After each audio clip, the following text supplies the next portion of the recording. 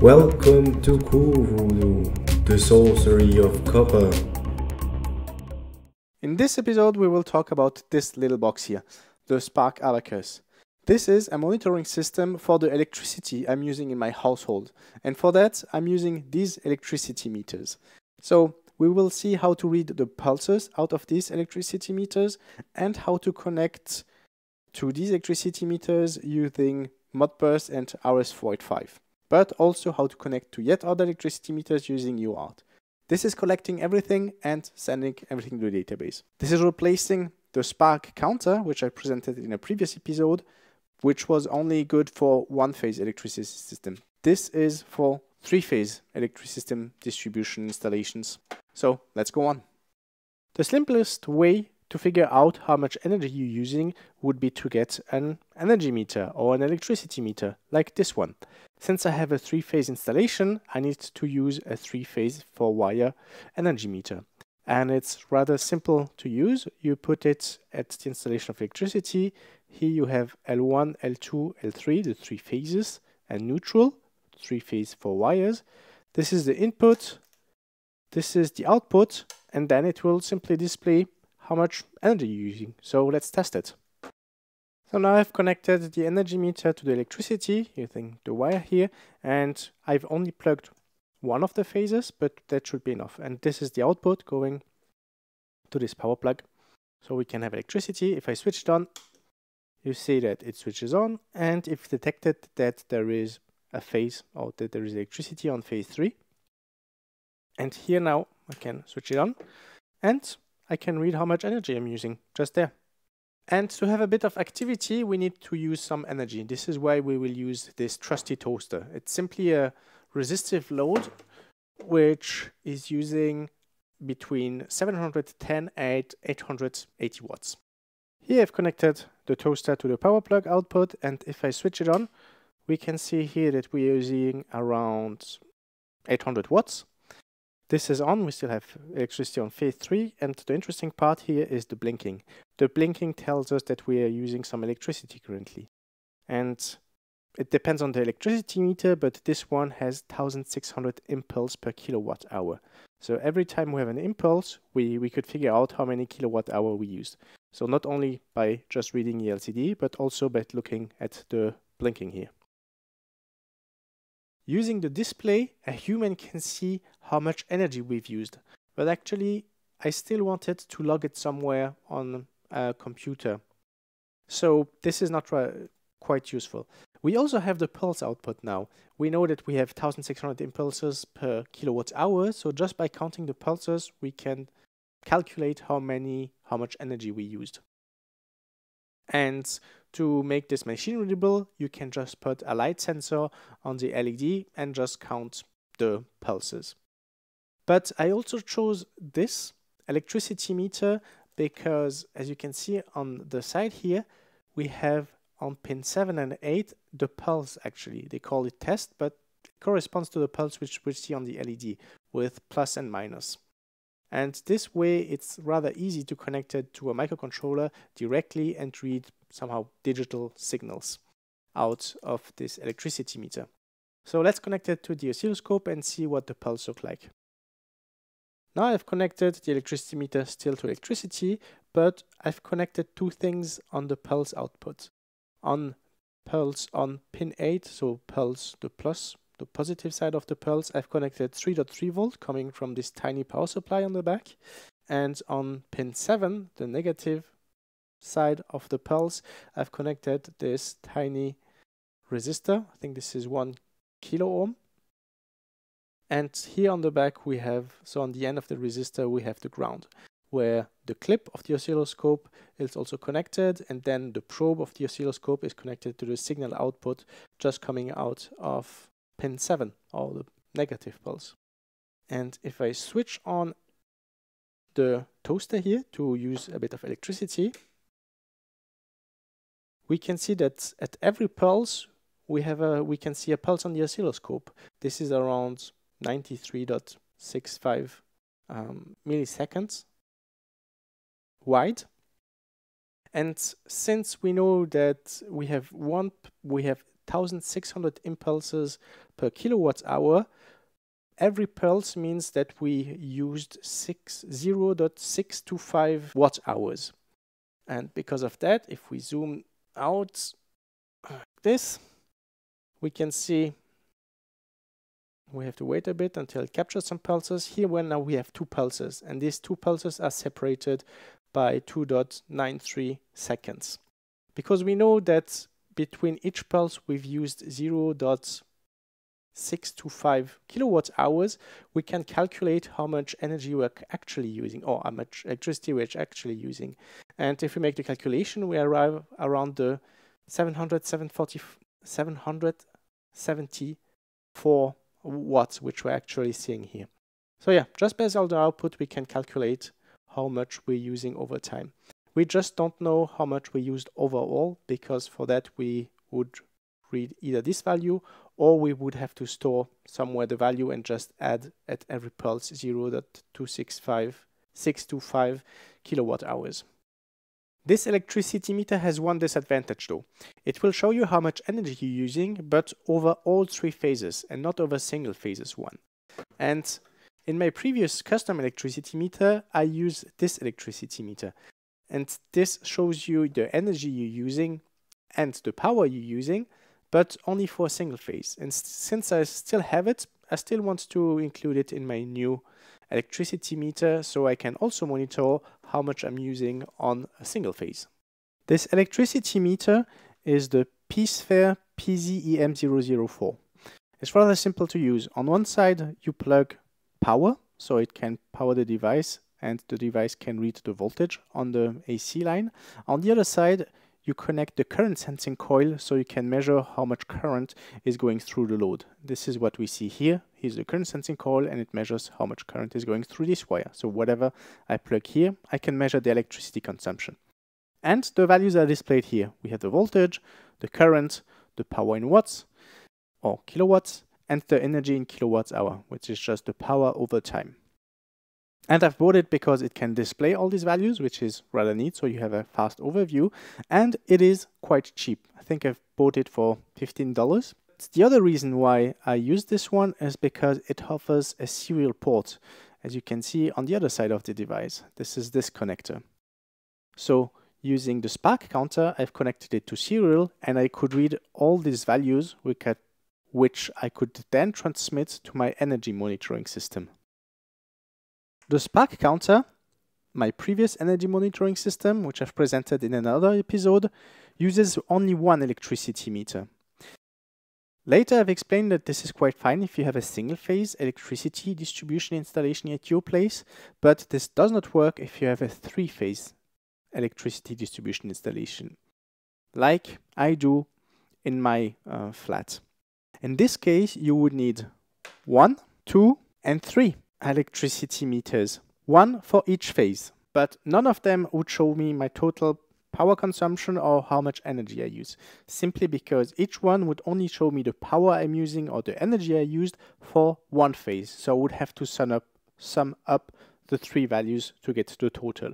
This is why I decided to use this electricity meter, which is quite similar. This is actually the PZEM004T, and it's quite smaller, but if you look on the inside, that's the inside of the PZ004, you can see it's rather the same thing. It uses the same chip, the SD3004. I think this is where the name comes from. It has also here the ROM to store the values and it offers a serial port. But this one is quite smaller. It just doesn't have all the display, but I don't need the display. I just need to read the values out of the serial port and that's it.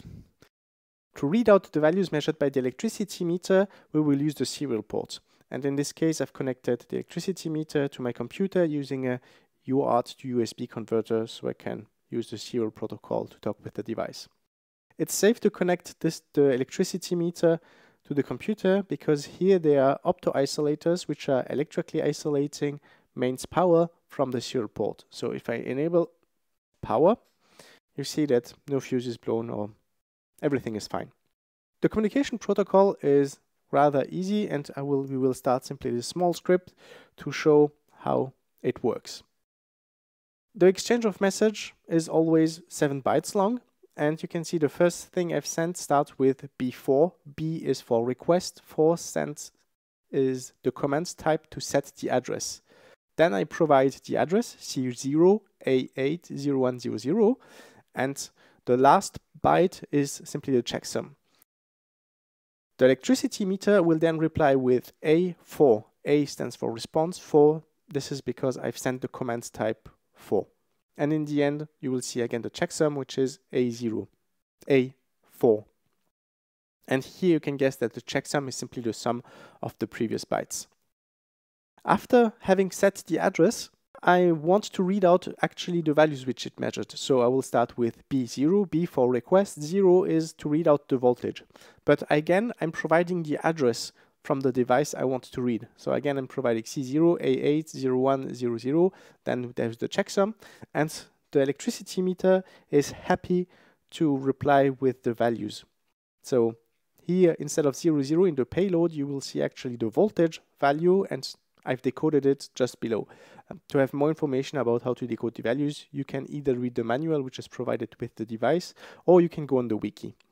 And the same applies for the current, the power, and the energy with command type 1, 2, and 3. The interesting part here though is the address. The address you have to set it in the beginning and the interesting the part here though address is in the request. The address. the address the device will set it in the beginning and the address the interesting part here though address is the request. So the address. the address the device will set it in the beginning and the address the interesting part here though address now the request. The address. the address the device will set it in the beginning the address. The interesting part here though address now the request. The address. the address the device will set it in the beginning the address. The interesting part here though address now the request the address, address, the device will actually actually address, the address, now the request, the device, the device will actually actually address, the address, now you see that another device actually actually address, now you see that another device actually actually address, ending with the using the address, you see, you will see that the device actually actually address, you can talk to them in the measurement. This is what I'll do. Now if I see that another address, device actually I'm talking not to them zero by one instead of my request the one with zero, then I'm you will see that the, four the device actually for the one ending does with not one, and then the four measurements with the one requests. ending with two. And I will use one meter per phase. This is why I have three, but you could have as many as you want because you have four bytes of address, and that's quite a lot of meters. To be able to connect all three electricity meters to the same UART port, I had to do a small modification though. As you can see here, on the two optocouplers, we have two pull-up resistors, and this is generally the case, so you have a, a clean signal. The issue is that if I connect the three on the same port, we have three pull-up resistors, and this creates some kind of interference on the TX line, so what this transmits and what I, uh, I receive. If I leave the three pull-up resistors, the optocouplers cannot put the signal low enough, so the serial adapter which I have on the computer can actually decode the signal. Um, so what I did is I left the pull-up resistor on the first module, but on the other modules, I just removed the pull-up resistor. So now we've seen what the impulse output is on 7.8. Here it is called test, but on other electricity meters, you will find it at S0, S0 plus, S0 minus. So various kind of designations, but it's actually just the impulse output, which you also see on the LED. Now I was wondering what this is here. So it's it's written RS486, which I didn't know in the beginning. And when I looked at 15 and 16, the the ports which are around here, 15 and 16, there's nothing connected to it. And this has to do with the model which I'm using here. I have the DDM100TC. T probably stands for test, the test output. C for coil because it uses coils, so that's a wild guess. And to have this other output, I would need the TCR. R probably for RS485. So I don't have it. Uh, they still printed it because they print everything on the same case, the generic label on the same case. But I was still wondering what this kind of output is. It seems to be some kind of digital communication which is which would give more information than just the test output. When looking around for an electricity meter which supports or which offers RS485, I found this little guy. This is the Eastron SDM120. It is an electricity meter and I particularly like it because it's it's quite small. And if you look at the side, you see single phase power analyzer, so electricity meter, and that's the SDM120, which offers Modbus. Modbus uses RS485. So these are two related terms. Um, as you can see, it off also offers pulse output. So there is one at 1000 pulse per kilowatt hour and the other one which is adjustable. So adjustable means somehow you are able to adjust it and probably you are able to adjust it using the Modbus. So here we can see we have the, the two outputs the pulse 1 and pulse 2 on the bottom. And on the top, we have other connection A, B, and G. And this corresponds to the RS485 uh, connection. So we already saw A and B. G probably stands for ground if you want to connect multiple of them. And on the top here, you have a small button and a display to show some parameters. So what is RS485? Well, it's a serial data transmission protocol defined on the physical level. So to illustrate it, here we have a USB to UART converter. And you probably heard about uh, UART if you're programming, if you're playing with any kind of electronic device. And I've connected it to the oscilloscope. We actually see the traffic here.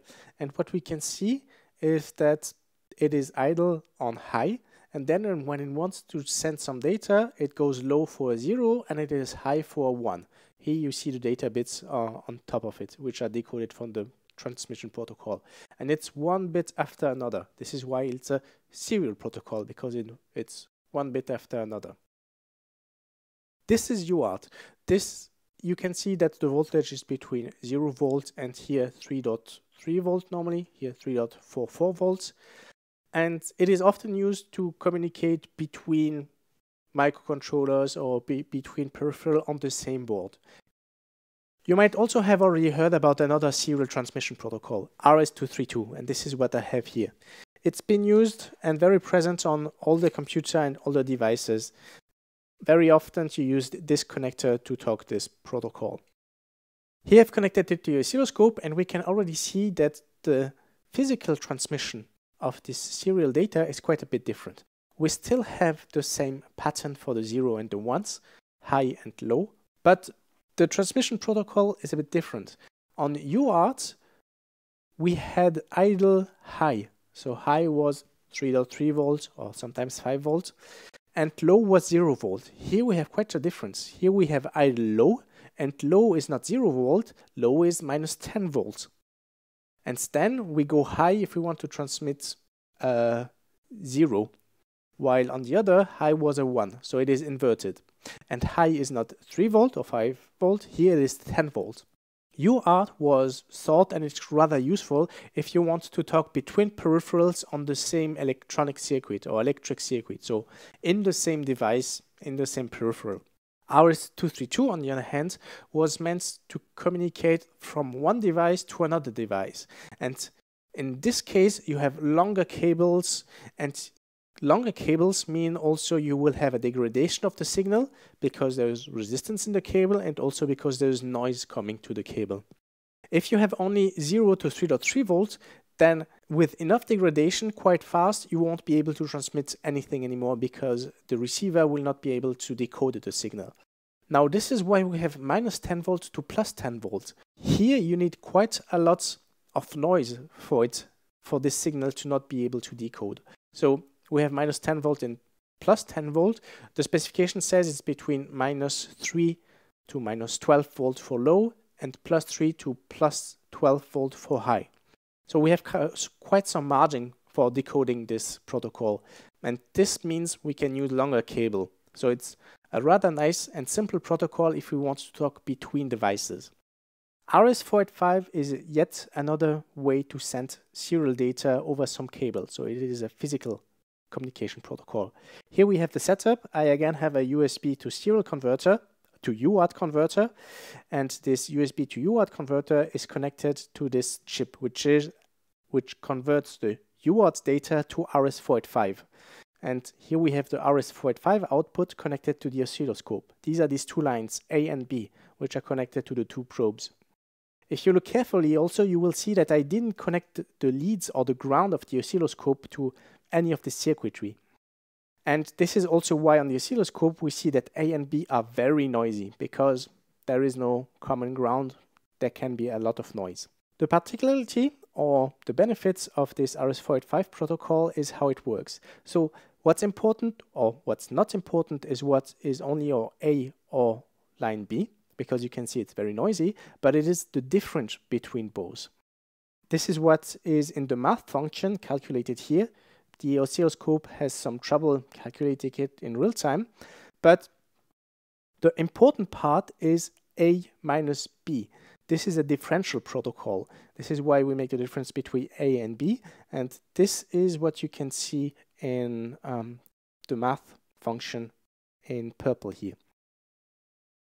Now, this is zero volt, and you can see it is below and above zero volt the same way it is on UART. It is high, idle high, and then it goes low for transmitting zero and high to transmit one.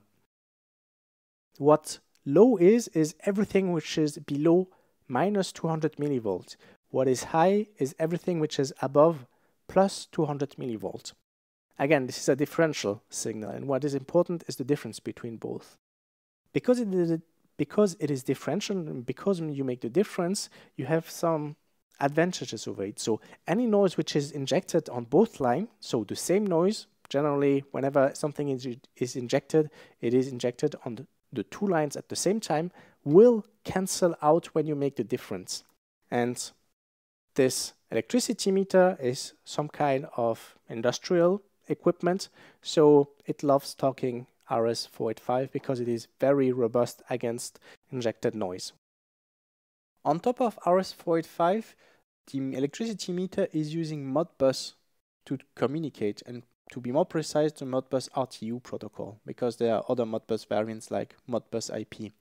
In this case, I've just opened the document for the SDM 100, 120, and this defines how the message looks like, gives a brief introduction to Modbus, and when you look at the first page, you already can spot an error here. You have two times the same information in one message. Generally, this doesn't make sense to put it twice, except for error checking, but here we have a separate field for error checking. So you can see that the document has already a mistake on the first page about how the message looked like. And this is already version 2.3, so gives you a hint about the quality. But it still includes the information which we are looking for, where the values are, where the measurements are stored, how can I read out the voltage, and so on.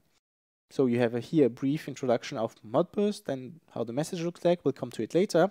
And here we come to the important part. So for Modbus allows you to talk to industrial devices which are either there to, um, to which are connected to sensors, so they read out the measurements and they have measurements and you want to read out the measurements or you want to control some device some valve or some electric switch and so on. So you either read some measurements or you write some configuration or some output. And the communication the modbus protocol is only about that reading or writing values. And this is done in registers. So you want to read measurements from the sensors which are connected to it these are in input registers this is where the voltage the current and the active power and other measurements are. The other important part is here we have addresses of the registers. This way we can define I want to read the voltage, which is at this address, and it will return me a message with 4 bytes encoded in float, and this will represent the voltage.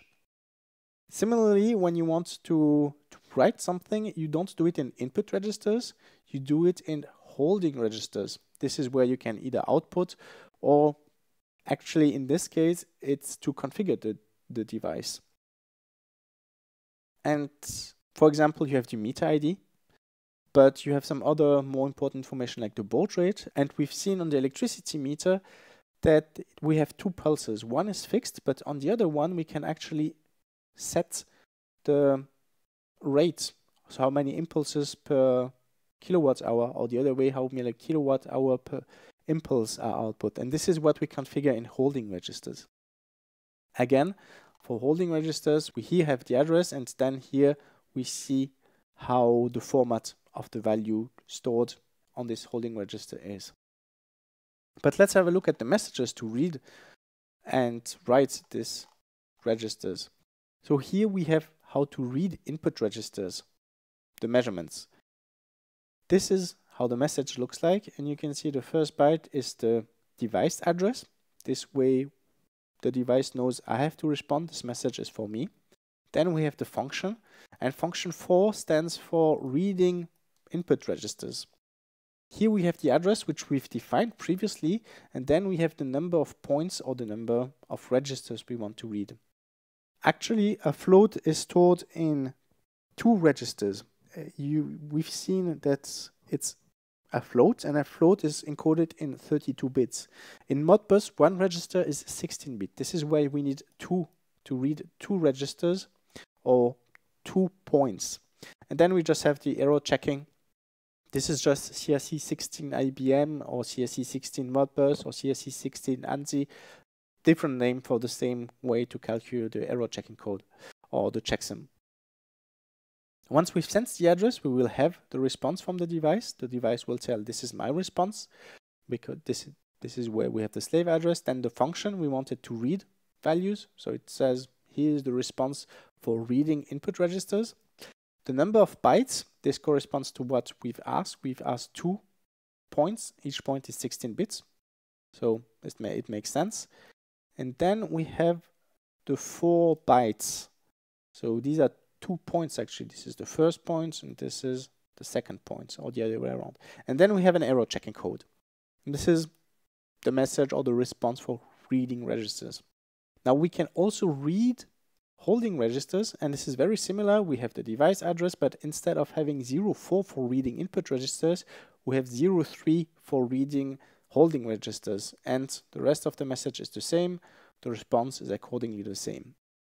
We can also write holding registers and this looks a bit different. We still have the device ID like always. The function this time this is 10 the address where we want to write the registers the number of registers, same thing, but here we have a small difference. We tell how many bytes we want to write. This is correlated to how many uh, points we want to write. And then we provide the data and the error check. And that's all there is to it. With that, you know how Modbus works for and how to communicate with this electricity meter. Here the SDM120 electricity meter is connected to mains electricity, which we see here, and it is powered on. We can see on the display, but there is no current consumption currently. Then this electricity meter is connected to this RS485 to UART converter, which we see the two cables here. This converter is connected to the UART to USB converter, and this way I can talk serially to this electricity meter. On the back, we also see a logic analyzer with all the probes on this UART to RS485 converter so we can see what's really happening on the wire. Here on the left, I will show you the messages by itself, so the Modbus protocol and the messages I'm using. And on the left, we will see using the logic analyzer output, we will see the physical electrical signal actually. So Let's start by enabling the logic analyzer, then running the script. And as we can see, I'm requesting all the messages. So stop the logic analyzer, and now we will have a look at the messages. So as we've seen, nothing more common. I've just asked the device ID 2. And device ID, you can read it from the electricity meter just by pressing on the button here a couple of times. So this is the volts, the amps, the watt, frequency, power factor here, ID 002. Upside down, but there's still ID 002. And if you continue to press, here we have the bit rate or the baud rate, which is 9600 and we have no parity. That's it. So we know that this is device ID 2. This is why I've used also 2 as the slave address. Then 04 to read an input register. Here, this is the address for the import active energy in kilowatt hours. I want to read two registers, and this is the checksum. This is the response with the four bytes, and I'm decoding it at, as this value. And we can do the same for all the other values. If we now look at the logic analyzer, let's go one of the first frames. This. On the top we have A and B. These are the RS485 um, signals, so you can see that sometimes it's noisy, but not while it's communicating, and very often the noise it's, is the same on both devices. These are not too important. What is important is here TX, so this is a transmit from the computer to the converter. And on the converter, it is called DI, drive input, because I am driving line A and line B.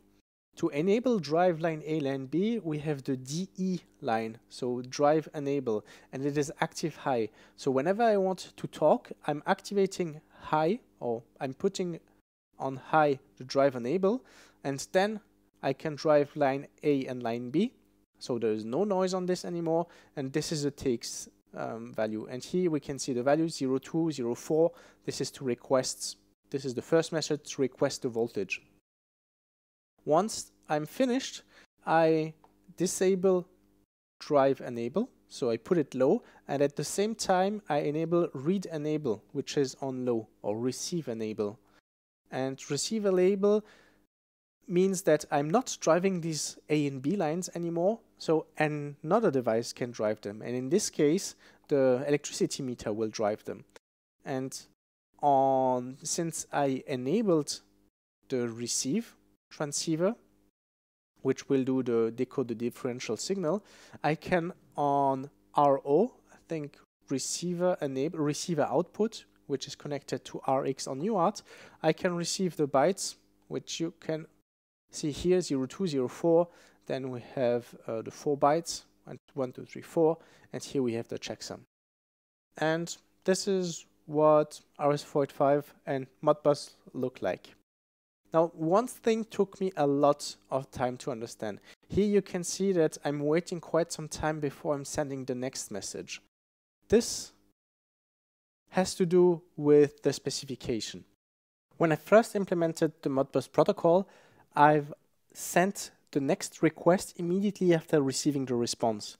But somehow, the electricity meter didn't respond to my second request, but it did to my first. So there was something weird going on.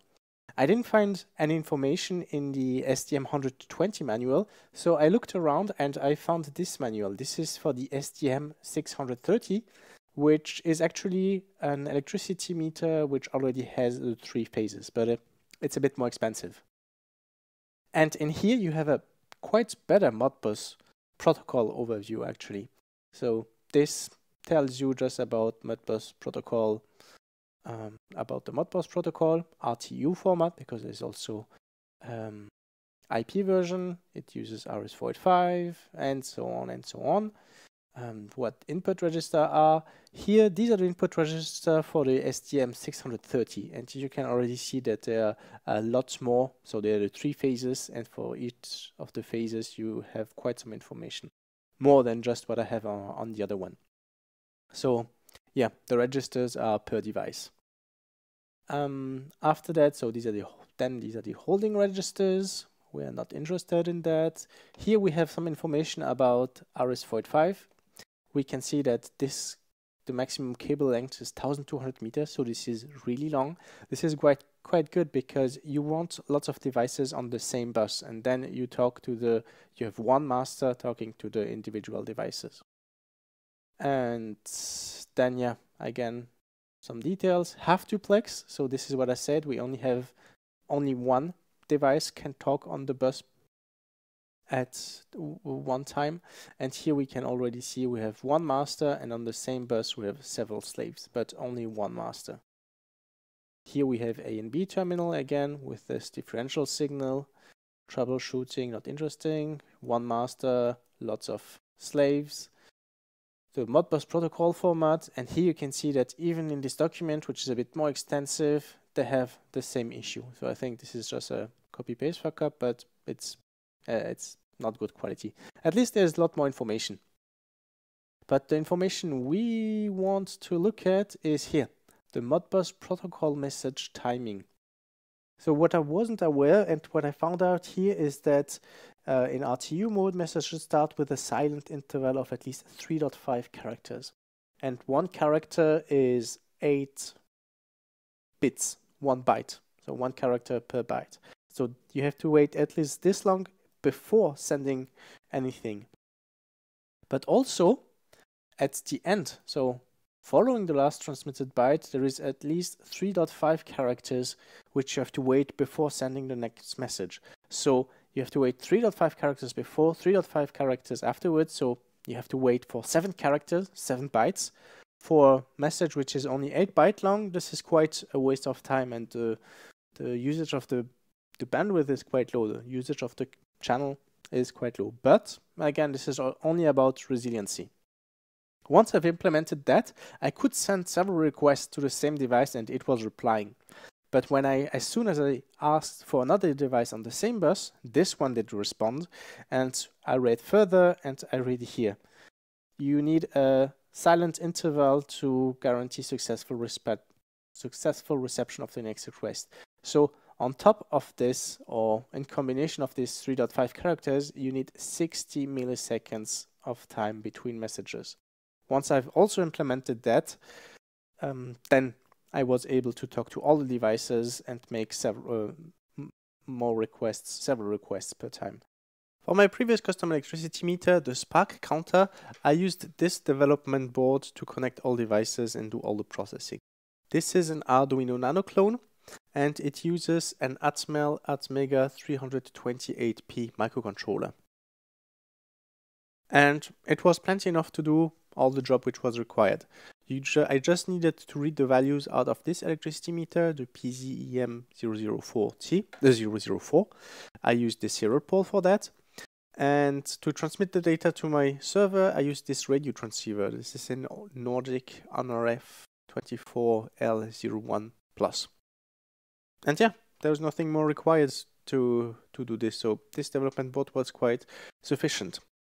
Now for the Spark Abacus, I will use this development board. This is known as the Blue Pill, and it is based on an STM32F103. This is an ARM Cortex M3 microcontroller, and this is a bit more powerful than this one. So this is an, whoop, sorry, this is an 8-bit microcontroller running at 20 megahertz. This is a 32-bit microcontroller running at 72 megahertz. So it's quite a boost in processing. But actually, I don't need such powerful processing. All I'm doing is requesting data from devices and then sending back to the server. So this power would be plenty enough. But I was bored from the 8-bit microcontrollers. I found 32-bit microcontrollers a bit more fascinating. And the price is the same or this is even can can come even cheaper than this this this I pay less than two dollars for this so why think about it the other reason why I use this one is actually the more important reason and why this one wouldn't be suited. On this one I only have one serial port which I'm using for the electricity meter. The same serial port is also used for the USB to UART uh, the USB port using a USB to UART converter. And this means that you cannot use the serial port for something like requesting data and debugging or doing printf debugging at the same time. And it's quite painful when developing. Now, on this board, I have three UART ports and one USB port. And this USB port is separate from the UART port. It has its own USB stack. This way I can use the USB port for printf debugging and the three UART port for the devices because I have to connect three of these PZEM004T using one UART port, so they share the same bus. Then I also need to connect three of these SDM120 on the transceiver, but this also uses a UART port. That's the second UART port. And then I'm communicating all the data out using this chip, and this also uses a UART port, but more on that later. On top of that, so I need all the three UART ports on that. So sometimes this microcontroller might seem like an overkill because it has a lot of peripherals, but the important part it doesn't it's not that you require all the time all the peripheral is that when you require some of the peripherals then you already have them. So it's more to have more it's better to have more peripherals in case you need them actually. And I will also connect this up other way around this electricity meter, or at least the pulse output, so I pulse output, so I can count the measured electricity. And what's useful here is that it has a different domain which is also running this real-time clock, and it is having backup registers. So I will connect one of these coin cell batteries, and when this device has no power, it will it will there will be a separate functionalities, set of functionalities which will only run on this power. It will only refresh, for example, or keep up to date, keep running these registers, backup registers, and this real-time clock. The backup registers, I will use it to count the number of pulses which have been output here. So as long as there is power, the pulses will keep incrementing, and when there's no power anymore, so probably this also will not give any pulse, then this battery will still be able to keep this data in the microcontroller. This way I don't need an external EEPROM to read all the time or write all the time the, the value, the pulse value, because it, it will be in a register. So this is quite useful. And I won't bore you with the code I'm running on top of it. It will be available on Git and it will simply use all the protocol which I've explained, combining all the data together and then sending it to the server. But if you want to have a look or if you want to check it out, everything is on GitHub. Once my code running on this microcontroller collected all the data from the various electricity meters, I need to send it to my server so I can store it and I can visualize it later on. On the Spark Abacus, I used this chip. This is the Nordic NRF24L01, and I wanted to use it, so it was the right opportunity at this time, and it's quite neat. But for the Spark Abacus, I will use another chip. I will use this one. This is an ESP01 module, and it is using the ESP8266 chip. It is quite well known actually in the microcontroller world because it's a very cheap Wi-Fi chip. So this antenna it's it's for Wi-Fi, so you can connect to your home network, and then you can do whatever you want to it. This is using, or I am not putting some custom code on this chip here. I'm using the out-of-the-box AT firmware, and you can talk to it with it using the serial port. This is why I need the third serial port. So I will not bore with you how to run your AT commands and how to open TCP connections to put some data because there are plenty of tutorials with it and there's nothing really hard to, to know or really challenging. One of the reasons why I use this is because I wanted to play with it. I had it laying around and I didn't do anything. I already know how this one works, but there are also other reasons. This one is really good if you want low power, if you want to do low power things, because Wi-Fi sucks or can suck a lot of power. It needs to always stay on or need to reconnect. This is a very simple protocol and doesn't need a lot of power. So for the embedded world, it's good it's good. But in this case, we have electricity nearby, so I don't need low power devices. I can use this devices which is more power hungry. There's no problem, no issue with that at all. The other reason is that this thing required to have on the other side also a receiver. In this case, I use the Raspberry Pi. This is the Raspberry Pi 1 and I need to connect it here. I needed code also running the software and then gathering the data. So yeah, I needed a second board with some some NRF transceiver on top of it. Also, this um, board now, the Raspberry Pi, is almost broken, not completely, but here the surface mount micro USB connector. They are very flimsy, and this one with a bit when it shakes a bit or when you have it on the wrong angle, there will not be power anymore. There is kind of a misconnection. This is quite the, the USB micro the USB micro connectors are well known for this issue.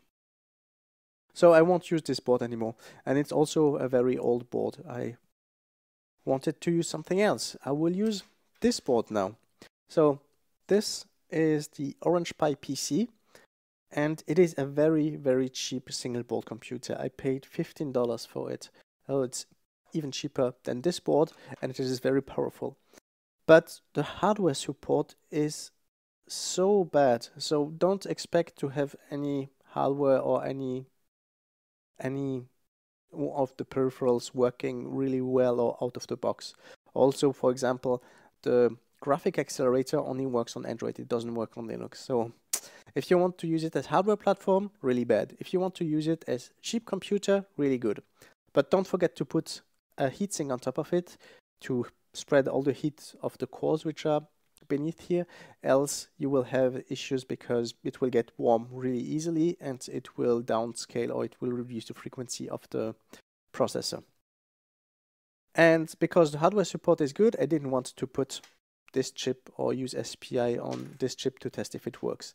In this case I am connecting to my home uh, network using Wi-Fi and this module will simply be connected to Ethernet so it will simply connect this board once it gathered all the data will simple simply open a TCP connection using Wi-Fi and connect to this device on the database. This will be an influx database and you can submit using HTTP some values. And that's all it's needed. This is the, all the reason why I use this. Now I simply just use network and over network I can directly put the data on my database and on this one then I can visualize the data. So collect all the data, save them and visualize them. Now we have all the ingredients to prepare a good Spark Abacus.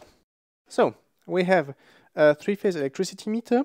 This is the base and will give most of the consistency.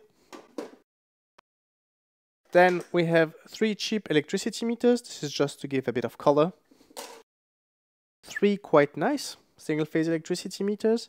This is to give the good taste and don't forget the converter so they can actually mix together. Then we have a wireless module to give it a nice smell. A battery for everlasting fermentation.